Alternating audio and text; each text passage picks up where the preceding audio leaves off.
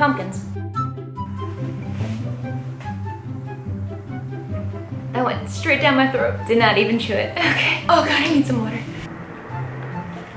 That's enough peanuts for today. So today we're gonna be pumpkins in the style of pumpkin that I did a couple years ago. Was it a year ago? Two years ago?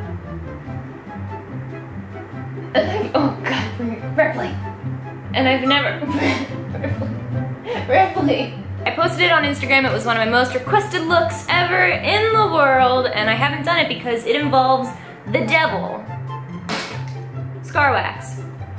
But I figure what better time to do something terrifying with the devil itself than Halloween. So let's try this. It's a pain in the ass the first time, It'll be a pain in the ass this time. Let's do it. Leave your brows at home today, you're not gonna be needing them. How you can do that is you can either block them out using a glue stick, powder, and concealer, or you can shave them off Jenna Marbles style. I'm going with the Jenna Marbles option. So the idea is that we are pumpkin faces and we're going to be carving into our skin. Because, you know, it's kind of rude that we do that to pumpkins and we never think about what it would be like to do it to ourselves. So we need to mark where we'll be carving. You don't have to use a white cream paint for this. You can use an eyeshadow color. You can use eyeliner. You can use literally anything.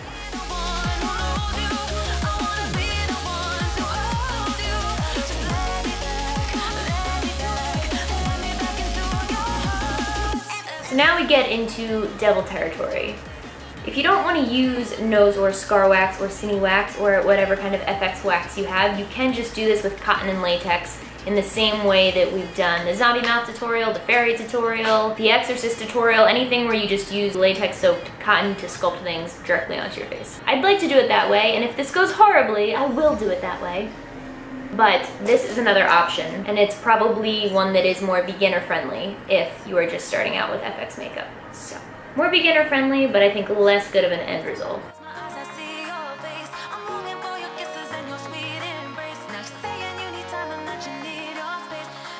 Step two, take some of your wax, scoop it out with a palette knife or, I mean, whatever you got. A small amount will do.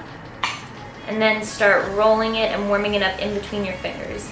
This is where things start to get annoying already. Your hands are going to get very sticky from the wax and it's going to start to stick to your fingers and it's a little difficult to work with. So when that starts happening, you're going to want to take your Vaseline, petroleum jelly, get a little on your fingers, grease them up. You can also use lotion or uh, makeup remover, oil-based makeup removers, thinners, and then it should be easier to work with. Uh, get, don't, ew, don't eat Vaseline. What's wrong with you? Darwin Ward. When your adhesive is sticky and you've got that rolled into a small worm-like shape, lay it down.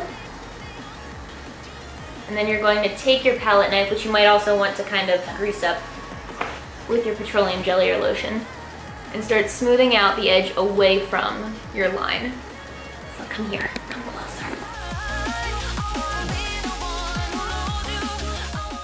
Repeat that all the way around, but be careful because in areas of movement, like eyebrows and eye corners and mouths and things, you know, all the areas that we're working on, scar wax has a tendency to start to crack and peel up. We're going to put latex on top of all of this when we've got the set shape that we like to try to help prevent that cracking. But until then, be very careful moving your face around a whole lot. So I'm gonna go into serious mode right now to try to deal with this demonic presence on my face.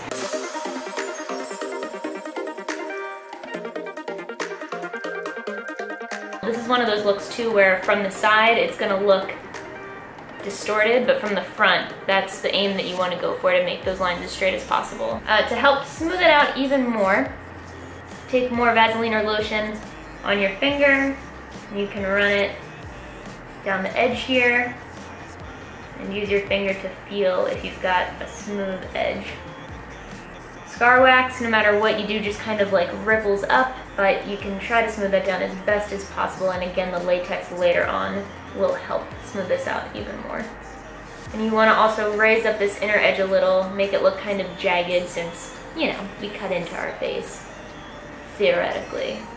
So this will crack a little. Oh, see? See? Here we go. And that was the moment I realized that continuing to talk would only make Dancing with the Scar Wax Devil way worse. So back to the voiceover. Hello, how are ya? Whenever you complete one of these shapes, I'd recommend sealing it with liquid latex if you're not allergic to it. I'm using a Q-tip to coat over all of the wax and thinning it out right past where the wax stops using my fingers. It'll take a few minutes to dry, but you'll find the wax build feels much more secure on your face right away, so I suggest doing the latex seal after you've finished each feature, rather than wait until the very end to seal it all at once. I even sealed my mouth halfway through just because it was so big and it took so much longer than the eyes and the nose, so I didn't want to wait too long before it started to crack or lift. So besides the other steps that I've already mentioned, while you're going over your whole outline, an important thing to do is to keep the wax warm. I had to film with the AC blasting so my cameras wouldn't overheat, but it would be ideal to do this in a warmer room. The warmer the wax, the more pliable and smooth it will be and the less it will crack as you move on to the other areas of the face. When you've got all your features built and sealed, it's time to paint. I'm filling the eyes, nose, and mouth with a bright red cream paint and then messily putting patches of dark brown cream paint over top of that, concentrating it especially along the inside perimeter of each feature. This will add a little sense of depth in the corners before things get bloody. Ben Nye's Scar Wax comes pre-colored to a semi-light skin tone which might match you, but if it doesn't, or if you're using a clear FX wax like me, or if your latex is thick enough to alter the color of the wax, you'll want to go over your build with a full coverage foundation or concealer.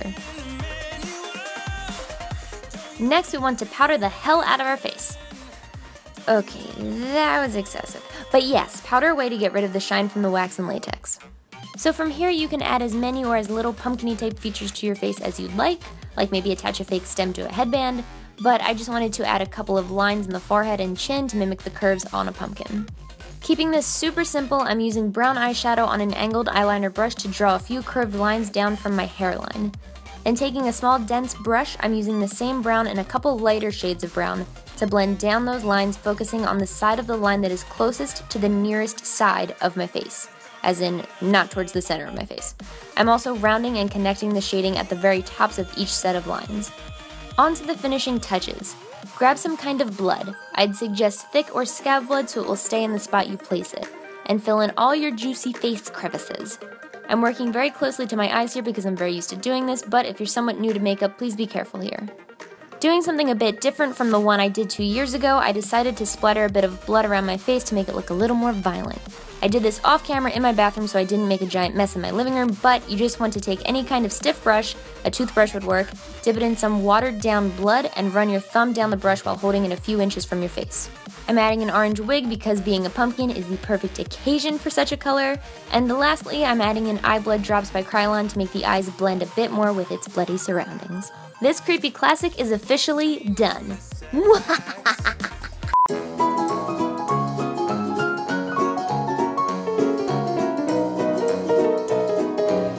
And this is why I don't use Scar Wax.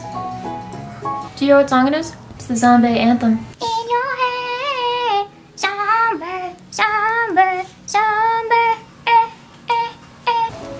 Microphone. It's not safe. Oh, it's a, it's a rubber. No, it's not. You didn't get me the rubber knife?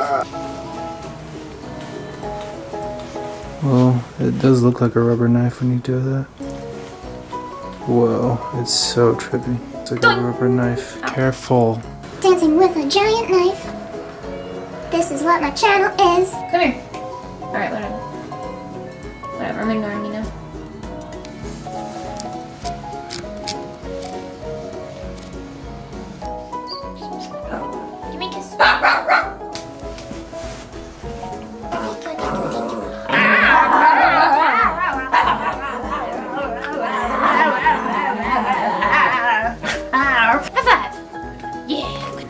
Alright, it's lights out for this jack-o'-lantern.